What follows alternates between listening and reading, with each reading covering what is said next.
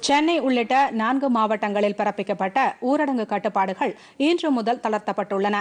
இதன்படி காய்கறி மளிகை கடைகள் மாலை ஐந்து மணி வரை திறந்திருக்கும். டாக்ஸி ஆட்டோக்கள் மற்றும் சைக்கிள் ரிக்ஷாக்கள் இயங்கி வருகின்றன.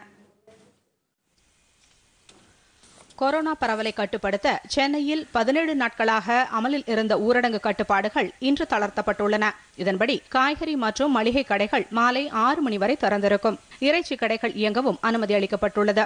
ஐடி நிறுவனங்கள் தனியார் நிறுவனங்கள் தொழிற்சாலைகள் ஏற்றுமதி இறக்குமதி நிறுவனங்கள் வணிக வளாகங்கள் தவிர்த்து அனைத்து வகையான ஷோரூம்கள் பெரிய ஜவுளி மற்றும் நகைக்கடைகள் ஐம்பது சதவீத பணியாளர்களுடன் செயல்படுகின்றன. முடித்திருத்தும் நிலையங்கள் அழகு நிலையங்கள் குளிர்சாதன வசதி இல்லாமல் இயங்க அனுமதி வழங்கப்பட்டுள்ளது. ஹோட்டல்கள் மற்றும் ரெஸ்டாரண்ட்டுகள் இரவு ஒன்பது மணி வரை பார்சல்கள் வழங்கலாம். தேநீர் கடைகள் மாலை ஆறு மணி வரை பார்சல் மட்டும் வழங்க அனுமதி அளிக்கப்பட்டுள்ளது. வீடுகளுக்கு டெலிவரி செய்யும் பணிகளை இரவு ஒன்பது மணி வரை மேற்கொள்ளலாம் என்று தமிழக அரசு அறிவித்துள்ளது. டாக்ஸிகளில் ஓட்டுநர் தவிர்த்து மூன்று நபர்களும் ஆட்டோக்களில் ஓட்டுநர் தவிர்த்து இரண்டு பேரும் பயணிக்கலாம். சைக்கிள் ரிக்ஷாக்களும் இயங்கி வருகின்றன. எனினும் சென்னையில் கோவில்களை திறக்கவும் மதம் சார்ந்த நிகழ்ச்சிகளுக்கும் அனுமதி அளிக்கப்படவில்லை.